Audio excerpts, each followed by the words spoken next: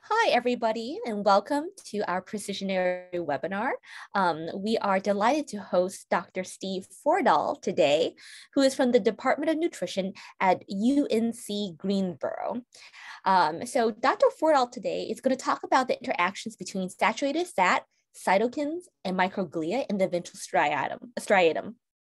Dr. Fordahl is going to highlight how pro-inflammatory cytokines alter, alter dopamine terminal function and how increasing dietary fat intake may actually enhance microglial activity. So that might change our perceptions of our diet and what we take in. Um, his lab's primary research interests are to examine how the excessive intake of high fat or high sugar foods, which we all love, can alter brain function, leading to dysregulated food intake. And they're also interested in how prolonged consumption of a palatable diet degrades the perception of natural rewards by altering dopamine signaling in response to food. Um, Dr. Fordahl's lab pairs a preclinical rodent model of obesity with electrochemistry, immunohistochemistry, and other biological endpoints with behavioral markers of dopamine system function. So with that, Steve, I want to hand you um, the microphone for your webinar talk. And thank you so much for being with us today. Perfect. Thank you so much for having me. So, so as the introduction stated, uh, my lab particularly looks at saturated fat and dopamine neurochemistry. And kind of the work that we've done over the last couple of years has looked at the role of, of how pro-inflammatory cytokines may change dopamine neurotransmission. So I'm going to share some data that sort of led us to that path and then also some of our, our more recent data that, that may link uh, some of the microglial uh, inflammatory cells in the brain um, to possibly play a role or how they may possibly contribute to some of the dysfunction. So our lab's general interests are how dietary fat can change brain chemistry and really it's uh, it, we focus specifically on how the type of dietary fat not just dietary fat in general um, and then how that changing brain chemistry can affect um, our food intake patterns can affect food choice can affect uh, satiety signals and things of that nature. So why dietary fat? Um, according to the dietary guidelines for americans the most recent dgas that came out um, Americans uh, exceed our requirements for a number of nutrients. Sodium is, is by far the number one, um, but two caloric containing uh, nutritive components, added sugar and saturated fat. About 60% of Americans consume or exceed requirements for added sugars. And with saturated fat, about 70% of Americans, or 76% of males, uh, 71% of females exceed the requirements for saturated fat. So these are two nutrients that are critical um, or basically contribute uh, overwhelmingly to uh, the incidence of overweight and obesity. Uh, but we focus on saturated fat because it, it's it seems to be a little bit more pressing with more of the uh, adult population exceeding the requirements for it. Um, also, saturated fat has been linked uh, directly with increases in BMI. Uh, it contributes to the obesity epidemic. Um, also central adiposity, which uh, is known to be pro-inflammatory. And there's this history of saturated fat being a link, a pro-inflammatory uh, link in and of itself, uh, and just with the chronic low-grade inflammation associated with, with metabolic syndrome and, and overweight and adiposity but there are also direct links with all of those in dopamine neurotransmitter systems. Um, so that's where our interests sort of uh, sort of mend together as far as the saturated fat and dopamine neurotransmission. So a little background, a little history on that. Um, with obesity and dopamine, there are clinical reports. Uh, sort of the hallmark finding to this is that there's a reduction in, in dopamine receptor uh, D2 specifically receptors uh, with those that have uh, bit, or with individuals that have developed obesity. Uh, if you look here on the picture on the right, this is a PET scan. Um, and here what you're looking at is uh, in the, the very center, that bright red that you see on the normal weight individual, that's an indicative of very dense dopamine D2 receptor binding. And you can see in the obese individual, um, you still have a little bit of that darker red development, but it's degraded quite a bit compared to the normal, normal weight. Now, this is similar to, to substance use disorders um, because you see the same sort of lack of, of high density D2 receptor binding in individuals that, uh, that use cocaine, also other substance use disorders like opiates and also alcohol, uh, alcohol use disorders. Now, I'm not going to say that obesity is on the same level as, as illicit drug use, um, but this does show that obesity sort of engages the same um, dopaminergic pathways that may contribute to some of the development and some of the behavioral aspects um, that we may see with uh, individuals with obesity. Now, there's also a reduction in activation in dopamine-rich brain regions. So another study that used uh, uh, functional magnetic resonance imaging um, looked at the areas of the brain that lit up in response to consuming a milkshake. So they had individuals in a scanner. Um, they gave them a sip of milkshake and they looked at a dopamine rich region of the brain in the ventral striatum. Um, and by looking or by tracking bold activation in that region, they can see um, how that region lights up in response to that, to that milkshake. So this particular study looked at baseline and then followed up with individuals six months later. And what they found was that individuals that lost weight or had stable weight at the six month mark actually saw an increase in dopamine uh, bold activation in that particular region of the brain. However, individuals that gained weight saw a significant reduction in the amount of dopamine released to that same milkshake that they consumed six months earlier. So there's a reduction in activation to extremely palatable foods um, over a period of time. Now, a follow-up study to that actually showed that this decrease in dopamine response to this particular milkshake actually predicted future weight gain. So there seems to be something with this, this degradation in the dopaminergic response or dopamine activation that possibly makes individuals a little more susceptible to either further developing obesity or that may make them prone to, to weight gain. So this is a, extremely general hypothesis. Um, this is definitely uh, oversimplified, but the general hypothesis is that we consume a palatable food, something that we enjoy, something that um, causes uh, release of dopamine. So the first time we consume this food, that dopamine release, it's going to orient us to that food. It's going to help us consolidate that memory. Where were we when we had that food? What or the context cues around that food. So dopamine is definitely a learning molecule and it tunes us into um, these things that we may find valuable and may want to seek out in the future. So after that first dopamine release or consuming that food for the first time, if we consume that food over and over and over again, the more we consume it, the less of a dopaminergic response that we're going to have to that. Um, and this is definitely an oversimplification of this. Um, there's a lot more that dopamine is doing, but this general hypothesis is that the more that we have this de degradation in dopamine release associated to this palatable, you know, previously pleasurable food, the more we may possibly overconsume it, um, leading to potential weight gain.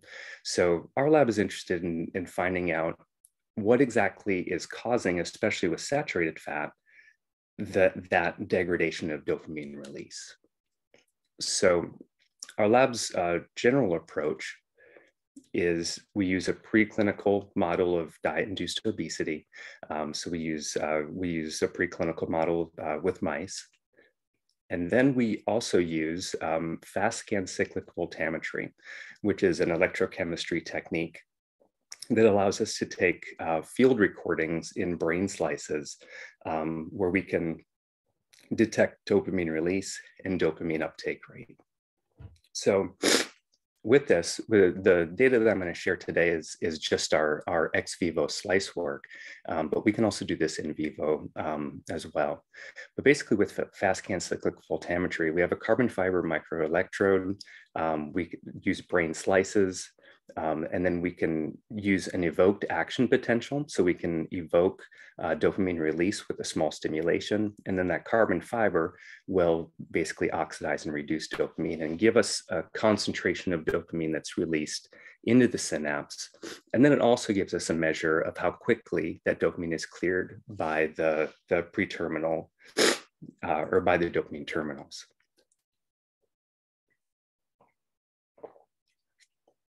So this basically gives us dopamine kinetics, um, and it, it, allows us to, to sort of probe overall terminal function.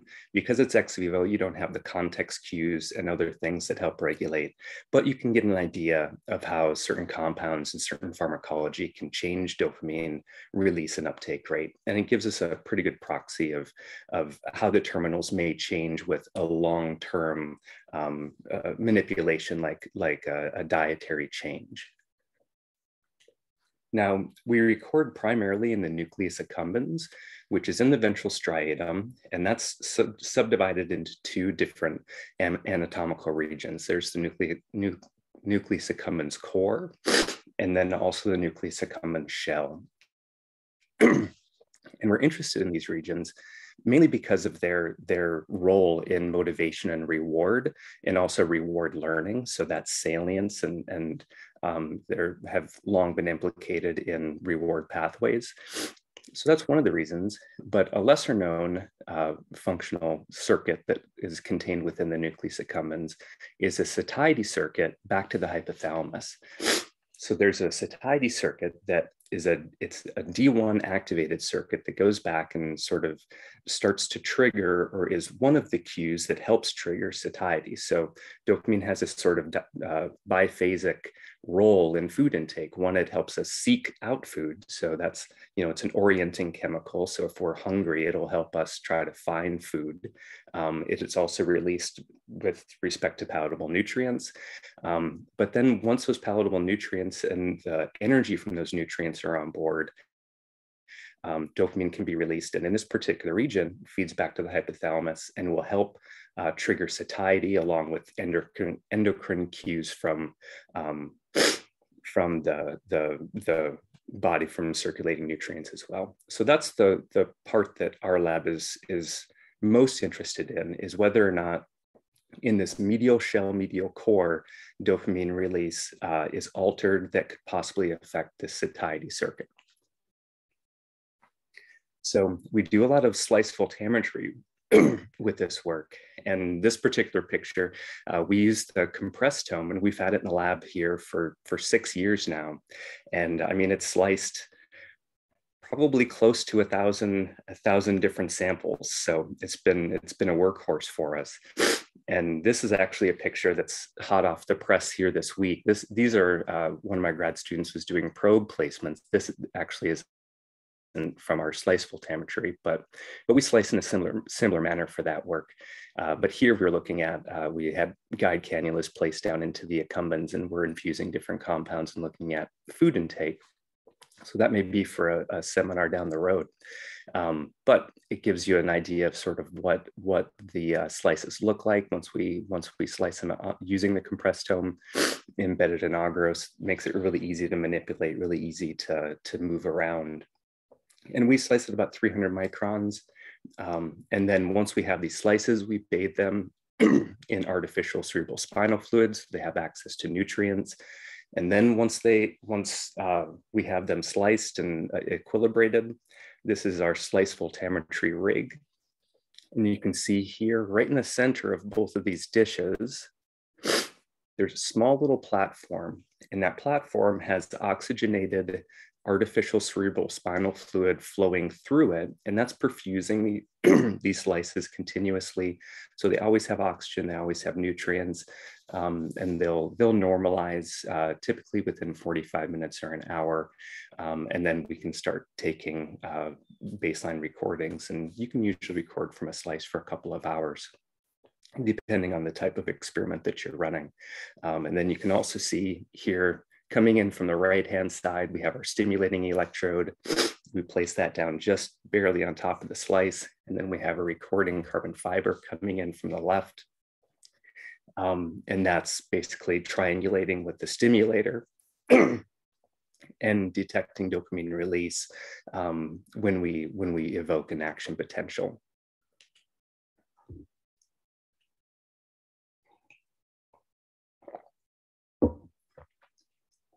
So our lab's early question, we are in a nutrition department, so we like to ask nutrition related questions when it comes to uh, and sort of using this neuroscience technique. Um, so there have been plenty of studies that had linked uh, obesity with changes in dopamine, had linked um, high fat diets with changes in dopamine. So our early question was, does fat type um, change dopamine neurotransmission? So is it just is it just the weight gain? Is it just the high fat diet in general, or is there a difference between certain species of fat um, on how it changes dopamine neurotransmission? So our first question we approach this using um, uh, just basically by manipulating the amount of fat that is in the diet and the species of fat. So our control, uh, basically 10% of kcals from fat. Now this is a control, but it's actually a low fat diet. Most rodent chows are about 14 to 16% fat. Um, so this is a little bit lower in fat. So it's a low fat versus a high fat diet. Um, but the high fat diet, this is primarily saturated fat. And this is probably the typical one that you've seen in historically in the literature, where it's 60% of kcals, primarily lard. so this is predominantly a saturated fat species.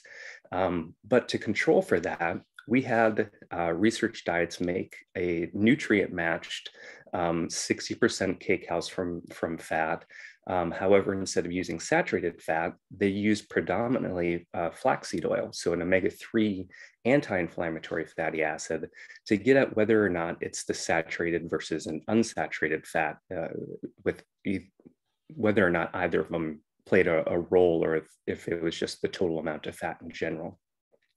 And then we used a blend, which was half flax and then also half uh, saturated fat. So, and these are all nutrient matched, so they're micronutrient matched. The only thing that we manipulated was the, the fatty acid uh, species um, between these diets. so taking a look, um, we fed these diets for to the mice for a six week period, and you can look at just, just total daily food intake.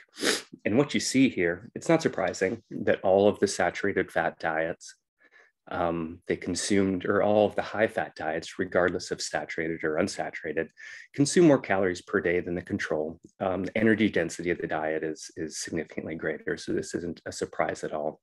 Uh, what was a surprise was that when we looked at body weight gain over that six week period, so you can look at baseline and then also at six weeks, that all of the animals consuming a diet high in fat significantly gained weight, but the flaxseed oil gained about 70% of the weight that the saturated fat did. So they're consuming about the same amount uh, calorie wise, but it didn't seem to have the same uh, impact on body weight um, and then also, as you'll see here in a second, same with just uh, just the overall metabolic impact. So flax gained about 30% uh, less uh, weight percent weight gain over six weeks, and then the blend um, was sort of split the difference between the flax and the saturated fat. So that was an interesting early finding in this study. So next, just to do a little further uh, sort of snapshot metabolic phenotyping, we did uh, IP glucose tolerance tests. So doing this, basically you're challenging the animals with a bolus of glucose and then watching the rate of that glucose disappear over time. And the more metabolically impaired the animal is, um, the slower they'll clear that glucose. Um, and this is sort of a proxy for insulin resistance. Um, it's just an, it's an easy snapshot uh, phenotyping test to, to take.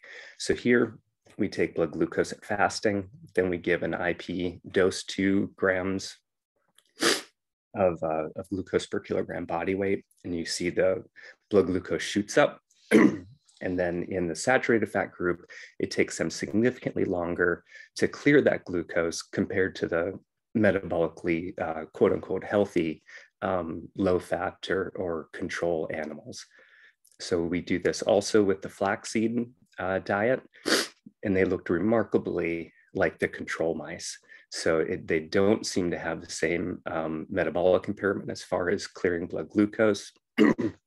So this has implications with uh, things like metabolic syndrome and type 2 diabetes, but they just seem to be metabolically um, a little more healthy, um, even though they're still consuming a large amount of calories, and it's still from dietary fat.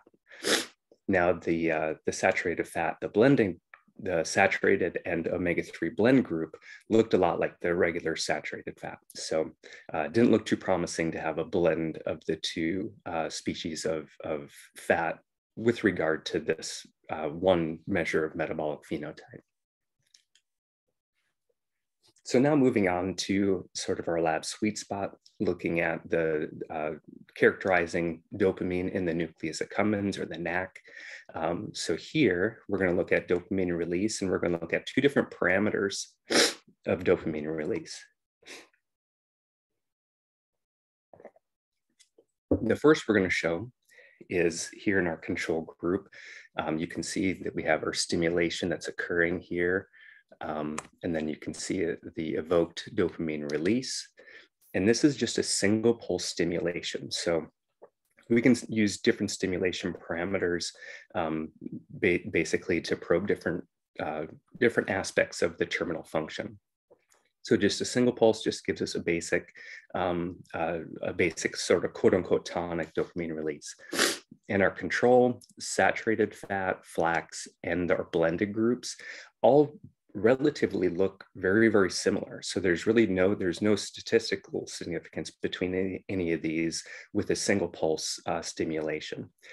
However, when we use a five pulse 20 hertz stimulation, which mimics the physiological firing rate of a phasic dopamine burst, so when there's a dopamine burst related to like a physiological or a cue or anything like that, um, these neurons burst fire at 15 to 20 hertz.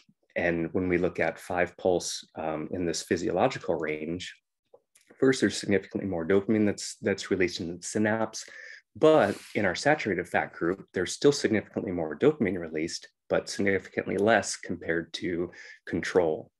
And then flax and blend, um, they mediated it a little bit, uh, but um, overall, it's really the saturated fat group that had the, the, the most impairment of this single pulse to five pulse um, ratio. And if you look at the area under the curve, that's basically telling you how much dopamine is hanging out in those terminals for a, you know, between this, the one pulse and the five pulse. And this is basically a measure of sort of the dynamic capacity of these terminals, their ability to, to respond to like a phasic stimuli or, or something of that nature and the saturated fat group has significantly blunted capacity um, to mount this big physiological burst. So that could um, play a role in engaging downstream circuits.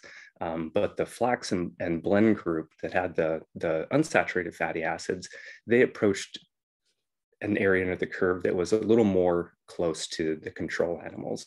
So overall dopamine release, it seems that saturated fat dampens phasic release a little more so than the flax and blend compared to a low fat control. So next, we look at uptake rate.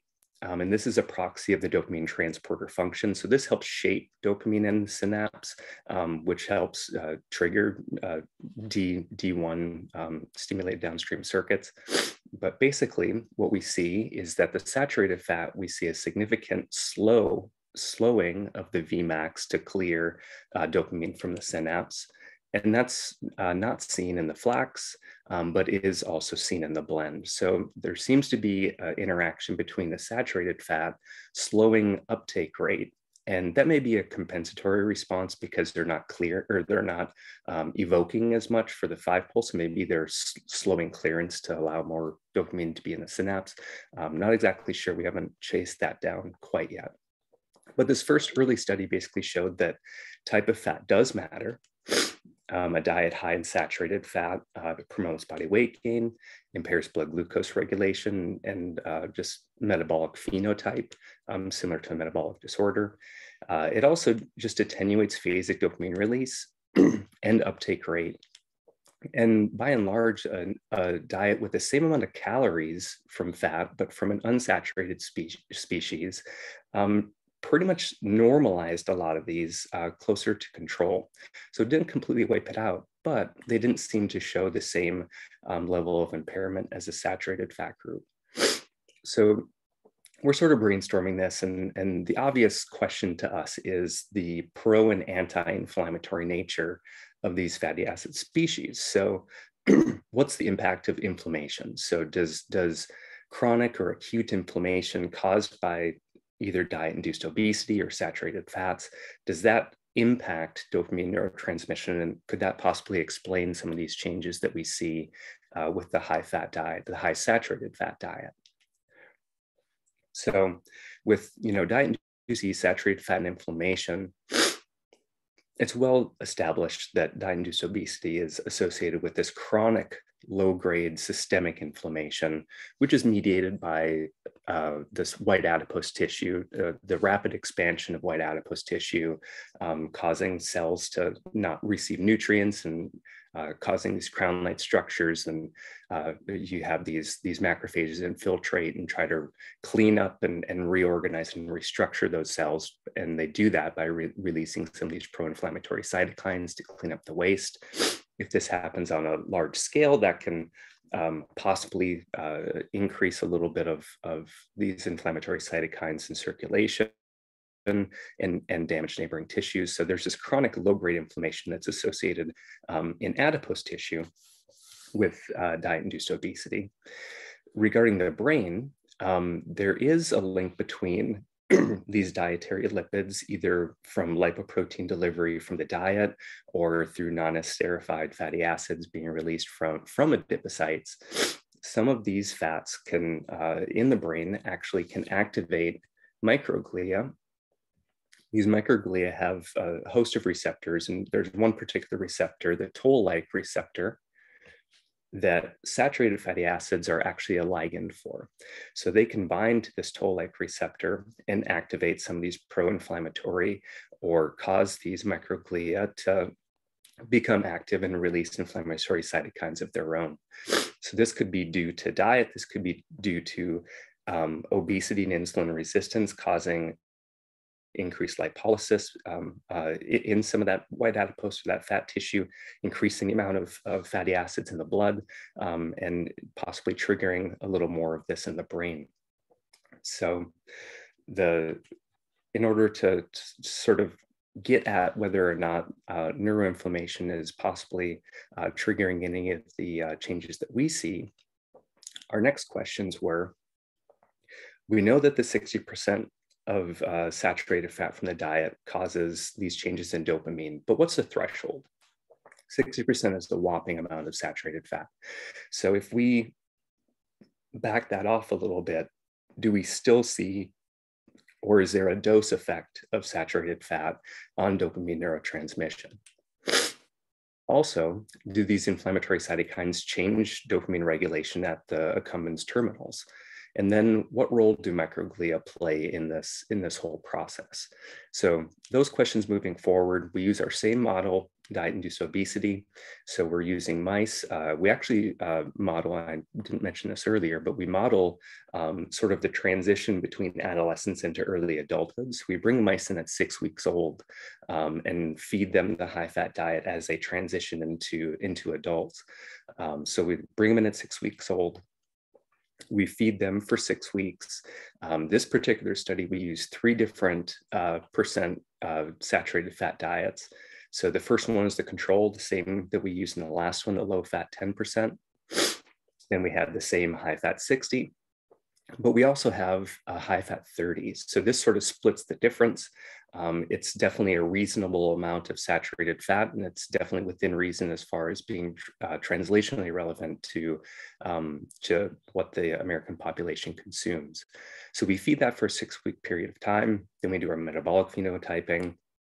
Um, after this, we have some animals that will uh, just go to tissue expression for, for cytokines and look at tissue cytokine levels and gene expression. Um, we also have animals that go to immunohistochemistry to look at microglial markers um, and activation. And then there are other animals that will go and be sliced uh, and have brains removed and sliced for ex vivo voltammetry. And then we can use manipulations like adding cytokines or pro or anti-inflammatory treatments to, to see if they change things.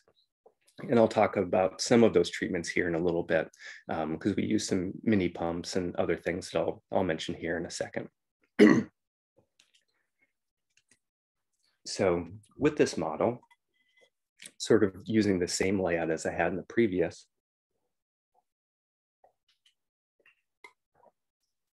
when you look at percent weight gain, not surprisingly, the high fat 60 diet in both males and females causes a significant amount of, of weight gain.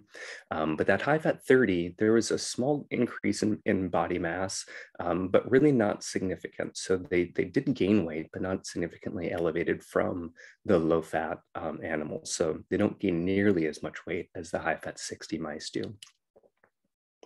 When we look at fasting blood glucose, also the in males and in females that intermediate high fat 30 group looked very very similar um, to the low fat animals but that high fat 60 group was significantly elevated as far as fasting blood glucose and then in our IP glucose tolerance test, here I'm just going to show area under the curve. This is basically just the, uh, the glucose clearance rate but here, so their fasting blood glucose in the high fat 30 was the same. But here, you do see an impairment in the high fat 30 in both males and females, where they don't clear blood glucose quite as, as uh, efficiently as a low fat. They're nothing compared to the high fat 60, but in absence of gaining excess body weight and having fasting blood glucose, you do start to see a little bit of metabolic impairment when it comes to blood glucose regulation.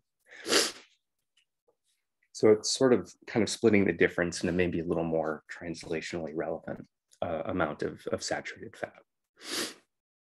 So then looking at the amount of saturated fat and its effect on uh, dopamine, first we're going to look at evoked uh, release and uptake rate in the nucleus accumbens.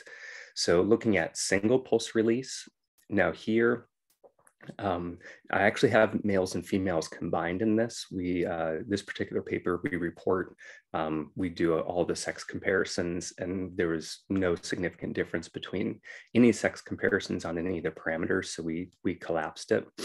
But in the paper we report in the supplemental data uh, all of that separated as well. If you're interested in, in that. So here we, we don't see a difference between the high fat 60 and the low fat as far as our single pulse. So this is that tonic level. And this is historically where we usually don't see much of a difference. Uh, we did see a slight reduction or a, a significant reduction in the high fat 30 group, but this, this can sort of change back and forth. So I don't read too much into this. However, when it comes to our, our phasic dopamine release, our 5 pulse 20 hertz, um, here we see a significant reduction in both the high fat 60 and the high fat 30. So this is that phasic capacity to release uh, a burst fire of dopamine um, in response to like a salient cue or stimuli. So here, both the high fat 30 and the high fat 60 degrade the terminal's capacity uh, to release a large amount or as much dopamine as the low fat controls uh, under these stimulation parameters. And we also see a reduction in the rate of dopamine clearance. And here's more of a dose response effect where the higher we increase the saturated fat, the lower um, or the slower the maximal rate of dopamine clearance uh, becomes. So all of this was collected in, in the um, mo mostly in the ventral ventral medial uh, nucleus accumbens core. So there does seem to be a threshold of saturated fat that initiates the terminal changes in dopamine release and uptake rate, um, particularly on Vmax. So the next question was, uh, do these inflammatory cytokines change dopamine regulation um, at the terminal? So if we challenge them with cytokines, uh, what's, what's gonna happen? So first, we used exogenous interleukin 6, which is a, a pro-inflammatory cytokine, uh, very extensively studied, both sy systemically and uh, to a little less lesser extent the brain. Um, however, when we're doing our, our voltammetry slice experiments, we collect our baseline data, and then we will continue after we do our stimulation parameters, we'll reestablish baseline. Um, so here you're seeing just stable baseline in these first couple of collections. and then we'll bathe over five nanomole IL-6. We just wash that into the ACSF. Um, and here we wash it on for a 30 minute period. And then we just remove, re remove that and just go through a washout period with just regular ACSF again. And here you can see this five nanomole of IL-6 um, with respect to dopamine release didn't really do anything at all. So it didn't change in any of the low fat, high fat 30 or high fat 60. Um, it, it, marginally affected things, but didn't really change um, anything. So next we used uh, just a, a, higher dose of this. So using 10 nanomole of IL-6, you can see that during the washout, there's some variability of whether or not it increases or decreases dopamine release. And then in washout, you can see that it significantly re reduced dopamine released uh, exclusively in the high fat 60 animals. So the high fat 30, it, it did reduce, but they sort of recovered um, when we entered into the washout period. But a reduction in dopamine release in the high fat 60 was um, was or the high fat 60 group was significantly lower when exposed to this higher concentration of IL-6. So we also wanted to look at a few other cytokines. So next we looked at TNF alpha. And here, same thing, when we used our smaller dose of TNF alpha, um, we wash it on for 30 minutes, and then we collect for another uh, 30 minutes in, in a washout period. We didn't see any effects when we increase that dose um, to 300 nanomole, then we do see an effect exclusively in the high fat 60 animals. So there is a significant reduction in dopamine release when they're challenged with these pro-inflammatory cytokines. Um, so uh, actually, interestingly enough, uh, we didn't see any effect of either of those uh, IL-6 or TNF-alpha on Vmax. So uh, us thinking that that, that the uh, chronic low-grade inflammation may be changing Vmax or uptake rate um, didn't seem to hold true at all. We only saw an effect on them decreasing the amount of dopamine release. So that's a it's an important thing to note.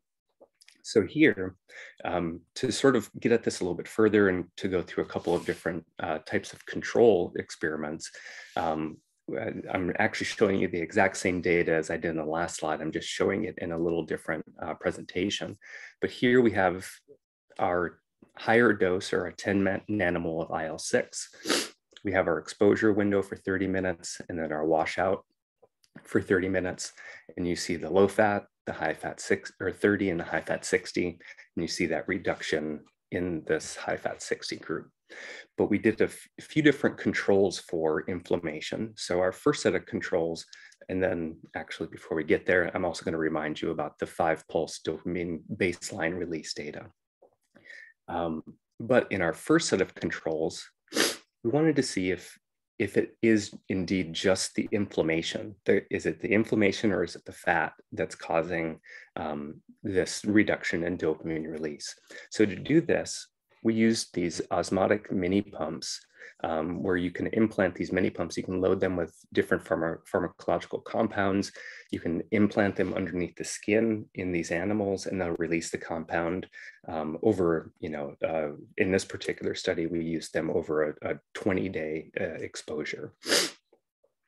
So here, um, basically we have our low fat animals that either had mini pumps lo uh, loaded with saline or mini pumps loaded with lipopolysaccharide, 300 micrograms per kilogram per day. So this is that pro-inflammatory um, compound uh, of uh, bacteria in the gut that can be released. Um, very pro, I mean, they'll trigger uh, microglia, they'll trigger macrophages, they trigger a pretty robust immune response. But this is a low dose simulating chronic systemic inflammation because it's going to be underneath the, uh, the skin on the body, just right between the scapula of the mice. And you can see the low fat animals that had this LPS mini pump, they looked very, very similar when we challenged them with IL 6 to the high fat 60 group. So they had the same reduction um, approximately 20-ish percent um, in dopamine release when they were challenged with exogenous cytokines. So there may be this priming effect on these microglia with this high fat 60 group or this priming with lipopolysaccharide. So then we wanted to ask the question whether or not we could block this using an anti-inflammatory treatment. So our first pass was just to use ketofen. So ketofen is just a, um, basically an inflammatory control. It's something we use post-op for surgeries uh, to control inflammation. And here, instead of using uh, mini pump, we just did acute uh, sub-Q uh, ketofen dosing. So we have our low-fat group that we just dosed with saline instead of ketofen. Then we have our low-fat ketofen that we dosed for three days with three milligrams per kilogram per day for three days prior to, to decap and brain removal for voltammetry. And then we did the same with the high fat 60 group where they got saline or ketofen. In the low fat saline, they look a lot like our low fat um, normal animals. So that's sort of replicates our previous findings. Our low fat ketofen didn't really change much at all.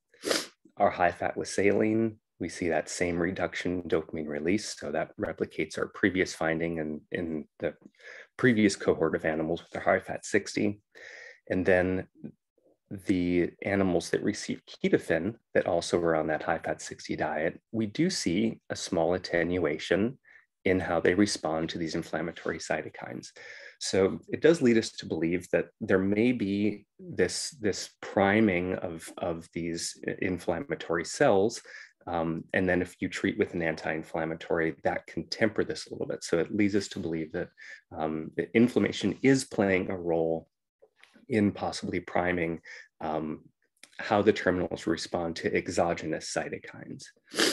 So another thing I do want to show is that all of these treatments, both the lipopolysaccharide and the ketofen, didn't change baseline dopamine release parameters at all. So it doesn't appear that these pro or anti-inflammatories change the capacity of the terminals to release dopamine, but they do change how the terminals respond when they're challenged. That's sort of what we're summarizing to this point.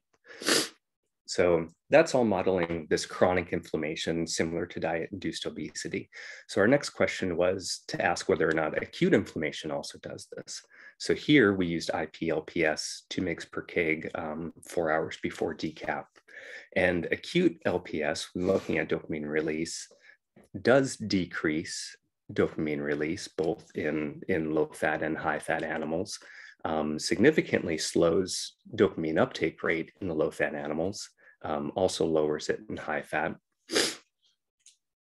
And then bath application of LPS um, use, using voltammetry, so during our, our slice experiments, um, basically does the same thing, releases or decreases dopamine release um, and slows Vmax. So it sort of looks like acute inflammation or an acute assault um, probably causes a reduction in Vmax, but this chronic uh, low grade inflammation probably changes how the terminals respond to, to this acute uh, inflammation.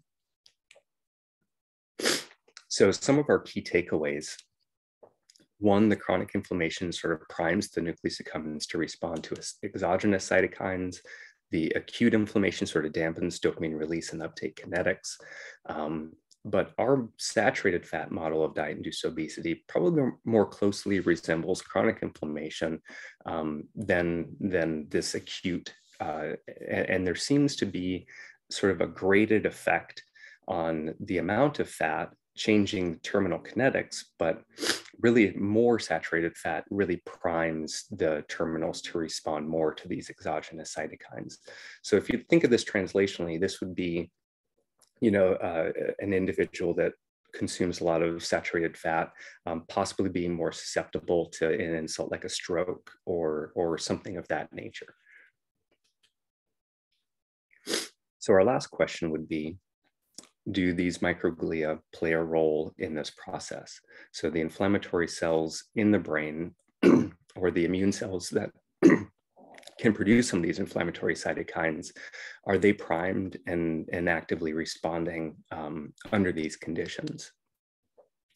So to do this, we used immunohistochemistry. So here we're looking at uh, both males and females. And just to sort of characterize this a little bit, first we looked at tyrosine hydroxylase, which is the, the rate limiting enzyme for dopamine uh, synthesis. So it basically just allows us to identify dopamine terminals. And here you can see the on the, the right-hand side, um, our left, the low fat is on the left, high fat 30 in the center and high fat 60 on the right. And there was a significant increase in tyrosine hydroxylase um, fluorescence in our high fat 60 group and a dose effect in females that we didn't see in males. But the interesting thing here was in our high fat males, we had really, really dense arborization, but they were much more sparse compared to the low fat and high fat 30s. So where they were, they were really, really pronounced, but they weren't as evenly uh, spread throughout throughout the region. So that was an interesting finding in and of itself. Next, we looked at CD11B, which is a marker for microglia, and we see a significant increase in our high fat 60 animals, and then also a dose dependent increase in, uh, fem in females with high fat 30 and high fat 60. And we can see that these uh, sort of co-localize with our dopamine terminals, but you can see an increase in, in our microglia, um, specifically in our high fat 60 uh, group. And next we use a marker of microglial activity, this IBA1. So this is a marker once they've been triggered uh, uh, to release pro-inflammatory cytokines. And we see a significant increase in the high fat 60 animals.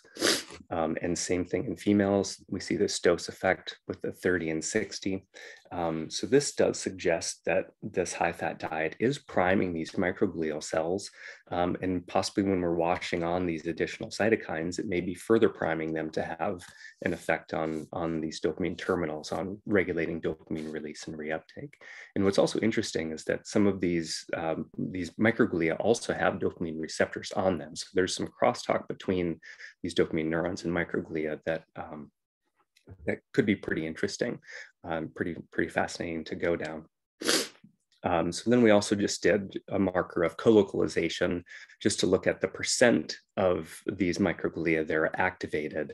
And we see a significant increase in the high fat 60 animals in both males and females with this colocalization or the amount of microglia that have this IBA1 um, marker active in them. So there's an increase in, in activation in, this, uh, in these glial cells. So our overall general conclusions is the there is a dose effect of saturated fat on dopamine in the accumbens likely it's probably not caused by chronic inflammation, although that may be making it more responsive to pro-inflammatory cytokines. So the chronic inflammation may not be causing the characteristic changes at baseline, but it does cause them to respond differently. Um, and there is an effect of saturated fat on glial activation. It does prime these microglia and cause them uh, greater activation, uh, possibly by this activating of this toll-like receptor by non-esterified fatty acids or saturated fatty acids. But I really think the timing is key here. It's important to, to note that with these in inflammatory insults, we're looking at this without stimulating them in any way. It's, it's hard to, to really figure out exactly the temporal dynamics. Um, if you time this after a meal, because saturated fat, uh, just the, the rate of absorption and how it's delivered, um, it's sort of a, a, tricky thing to time. So we're trying to, to get our timing down to find the best um, dynamics as far as getting a read on whether or not it's saturated fat from the diet or just lipolytic activity from uh, adipocytes releasing some of these saturated fats. So that's something that we're still kind of uh, is is uh, something we're trying to figure out. So our next steps, we want to look at treatment, can reverse this high fat to low fat. Um, does it have an effect on satiety? Uh, that's what one of my graduate students is working on right now um, from some of those brain slices that you saw earlier. Um, and also, if it's not chronic inflammation, maybe there's just this effect on these membrane lipids. Maybe this lipid composition is what's changing uh, the dynamics between, you know, dopamine release and reuptake rate, and maybe the expression of some of the transport transporter dopamine receptors on on these terminals. So those are sort of some of the next steps. And then, of course, I want to acknowledge uh, uh, everyone in the lab that's that's worked very, very hard over the last couple of years on this. Uh, my doctoral student, Heather Emmons, Emmons. Um, she's been uh, indispensable helping with voltammetry work and some of the, the newer satiety experiments. Um, Madison Loudermilk did uh, the lion's share of, of immunohistochemistry and also like to, to thank our funding sources, um, NIDDK. Well, Dr. Fordahl, thank you so much for your talk. We actually already have one question and if Dr. Wang doesn't mind, I'm gonna go ahead and ask it for you. He wanted to ask you more specifically about your protocol for slice testing, um, which was what was the section and thickness that you had used? And maybe you can talk to us a little bit about how you kept your slices really healthy. Yeah, yeah, absolutely. So we we slice at 300 microns so between three and 400 300 actually um, it, it, gives it the, it gives the slice structure enough structure for us to be able to lift it out and place it into the dish. Um, and with it being embedded in agarose um, it also provides a little a little structure as well. Um, and as far as as far as increasing viability um, we slice we actually slice just at room temperature. Uh, so we uh, once we get the brain removed and blocked and, and in the Compresstome we'll slice at room temperature and then we'll slowly bring them up to temp um, in the slice rig uh, or in the voltammetry rig. Uh, and that slow equilibration with uh, the ACSF providing nutrients and oxygen, um, it, it, does a, a, really, really nice job, but it does take a little, a little time for them to get happy. Great. Um, and Dr. Wang has some wonderful follow-up questions. And actually, Dr. Wang, if you want to unmute yourself, if you can, um, you can also enter in chat if you want to or not. Um, he has um, uh, more questions for you, um, uh, Steve. Did you want to unmute yourself?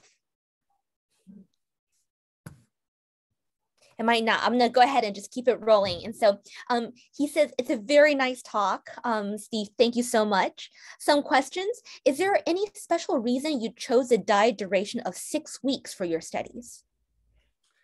Yeah, um, honestly, the six weeks was just to bridge from adolescence into adulthood. So mm-hmm. initially, so initially being in a nutrition department, one of my first uh, questions was diet, you know, uh, adolescent and childhood obesity. So this was a way for us to model that. We've also done studies where we've fed for 16 weeks um, with one of my collaborators, uh, Dr. Keith Erikson here at UNCG. So we've done longer exposures, um, but we start, I wanted to capture when we first start to see these changes. So after 16 weeks of exposure, they're there, they're really exaggerated. But this was the earliest time point where I started to see changes. And I thought that was developmentally um, uh, important. Great. Um, and a follow-up question for that is you showed the weight gain after six weeks of feeding fat the fat diet. And um, he's wondering if you notice any weight loss for some animals due to fatty liver or even cirrhosis. Yeah, um, actually, I think we catch them before they develop that. Uh, mm-hmm. they definitely are starting to develop fatty liver for, for sure, um, but we we don't necessarily see weight loss. There are some some animals that don't gain the same amount of weight, so there do seem to be some mice that are a little mm-hmm. resistant to mm-hmm. the excess body weight gain, and I think those are interesting. Once we have enough of them, we'll probably do some analysis of them uh, by themselves. Um, but yeah, we we typically don't see that um, at this early of a time point. Got it. And a few more questions because your talk is really fascinating and so relevant because the American Academy of Pediatrics just revised the childhood obesity approach for children, which is um, so relevant to your research. Um, another question is fasting glucose levels. Um, did you do overnight fasting or some other method? Yeah, this is overnight. So this is just a 12 hour fast. Um, so just an over overnight fast. Yeah. And then with regards to the mini pump approach, is this mini pump um, usable for refilling drugs? No, this is, it's, uh, you can replace them. Um, okay. So if you needed to do a, a, dose delivery for a longer period of time, you can remove them and replace them. Um, you, they're basically just kind of stapled in under the skin, and that's that's not too difficult. Um, but no, I timed mine to where they would go in and and just finish their dosing at the end of um, the terminal endpoint. Great. Um, I have a question, which is a little bit of a future application or um, older application um, of age. You know, with the process of gastric bypass and other surgical approaches to obesity um, and how does a process and maybe it's been studied in animal models like your mouse animal model if you could tell us how does a process or surgical approach like gastric bypass um, affect the dopamine response Oh my gosh. It's um, a very, a very broad question, I know. Yeah. No, and, all of the resectioning of, of the GI, uh, we have all sorts of endocrine signals and, just the, the gut brain axis that you're you're disrupting a, a, a lot of those, um, you know, through vagal stimulation, uh, feeding up. I don't know exactly what that literature says, but I would mm-hmm. say that you're probably significantly changing um, how the brain's going to respond to things. Wonderful. Um, so I do want to wrap up, but want to ask if any of our other attendees have any more questions.